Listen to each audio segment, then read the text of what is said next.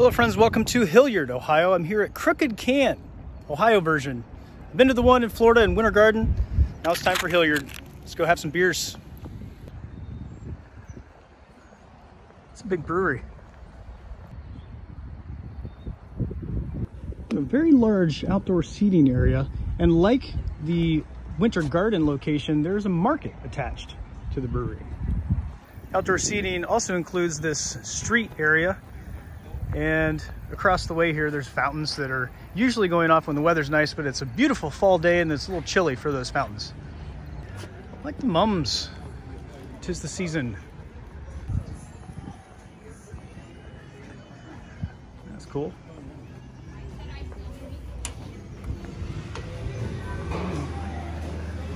Large tasting room too. Very large. Good man, how are you? What's uh, what's hot on the streets here?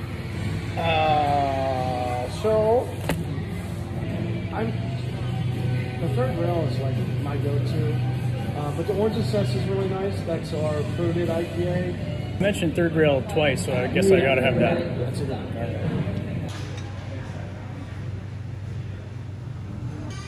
Third rail, hazy pale ale, 5.3%. Down the hatch. Oh. Citrus. Citrus and kind of light. Light, light finish. A Little orangey at the finish, but super orangey up front. That's a New England style. Hazy. See the haze. Not bad. They do have a brew theater here. You can see everything pretty plainly through the looking glass here. A lot of fermenters, making a lot of beer in this joint. I finished that last beer, so I ordered another one. Got the Marzen. It's called the Burgermeister. It's a five and a half percent. Oh, I like that. I like that a lot. It reminds me of Red Dog beer a little bit. Remember the finish in Red Dog was really good. I don't think they make it anymore. In fact, I think I mentioned this several videos back, maybe 20 videos ago. Something about Red Dog and how I liked it. It was one of my first beers I ever bought. You had to buy them in Oklahoma. You had to buy them in a liquor store. You couldn't buy them in a, regular grocery store. Oh, that's really good. Great bread-like finish on that one. Excellent. Let's walk around here. I'll show you around the, the marketplace a little bit. See the tasting room and the bar here. And then we'll walk our way right here to the marketplace. It's not as big as the Winter Garden location, but see it's similar. You have dumplings here, meatball mafia. Here we have well, something coming soon. Center Street Market, maybe that's what this is, but something's coming soon there.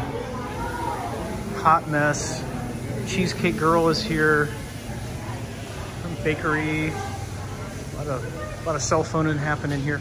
And you have pita, pita stuff. And an extra tasting room is somewhat closed off. Well, totally closed off. It says right here, for a private event. So you can rent it out if you'd like. There's a lot of good options here. Maybe eight or so. I've been here on the weekends a couple times and the place gets packed out, especially in the summertime. I've been up here visiting. This market is always going. Lots of people hanging around here. It's probably one of the most or the most popular place in Hilliard to hang out on the weekend. Here on the top of the wall, they got some tin signs with some of their beers on them. I don't know if any of these are available for sale, but we'll look in the swag section and find out. Their swag is right behind the bar. Under the life is better at the crooked can sign. They got growlers up here and crowlers you can get filled, t-shirts, hats, warm weather hats. And oh, that's about it. Oh, you got a fanny pack too. And flights are available as well. Four beers on a flight. Beers to go can be found behind the bar as well. Small cooler. Probably noticed, but here in the back half of the tasting room is another bar, which they do keep open in the times that I've been here because it is so packed. And like the Winter Garden location, they have this indoor-outdoor bar serving station as well. Such a nice autumn evening here. People just enjoying themselves. This is one of those serve your water yourself sort of places. I like that. What's going on? Thank you, sir. Dog check, 5.2% brown ale. I think dog is a some kind of a relationship to the Cleveland Browns, like the dog pound.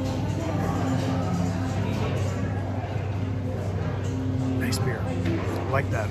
You can tell right away it's a brown. Very nice beer. I compare this to the Bold City Duke's Brown. It's pretty similar. Pretty similar recipe, I'm sure. Very good beer, great finish. Very rich. It's not sweet, but it's rich. It's got a lot of body to it. I like this beer a lot. It's really dark. I think it's the darkest beer that they have. As you can tell from the view behind me, there's not that many people here in the tasting room. It's a Monday night, which is kind of rare these days to see a brewery open on a Monday. For whatever reason, breweries close on Mondays and sometimes Tuesdays. I don't know why that is. People drink beer every day of the week. Why would you close for any reason? I don't know. I don't know why breweries do that. I don't know. It, just, it doesn't make sense to me, but they don't. They're open seven days a week. So you can enjoy their beer all the time. And they can make money from that beer all the time. I think it makes a lot of sense. Okay, friends, it's pumpkin time. Yeah, it's full. It's almost Halloween. They sell this beer called Pumpkin Jack. They don't make it here. It's made by McKinsey's up in Michigan, I think. I think McKinsey's is in Michigan. They gave me a sample of it. Some people over here were freaking out about how good it is, so they said I should try it. Well, here I am.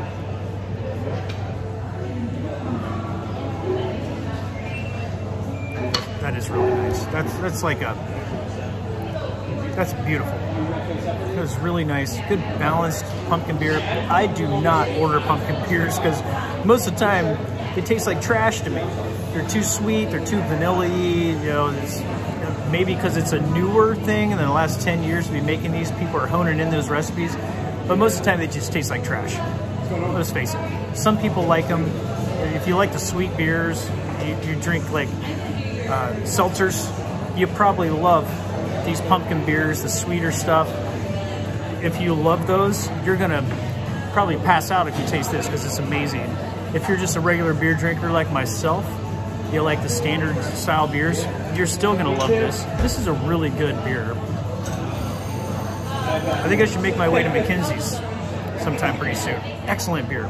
It's got this nice gingerbread type finish to it. I love it. But not enough to get a full one. I'm gonna finish this one here and call it a day. Well, you hear the orange is sus.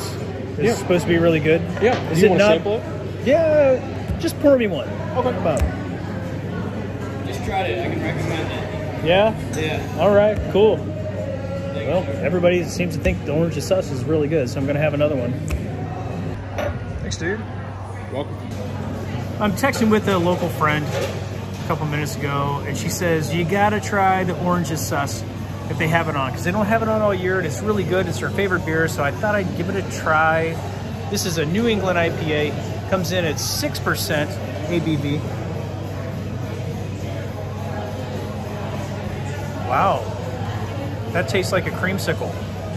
That is a total creamsicle. It's very nice. I I think this might be the best creamsicle beer that I've ever had. Uh, Descent makes a, a really good creamsicle type of beer called the Annual Pass Holder. I think that's right. I hope I'm not mis misquoting that.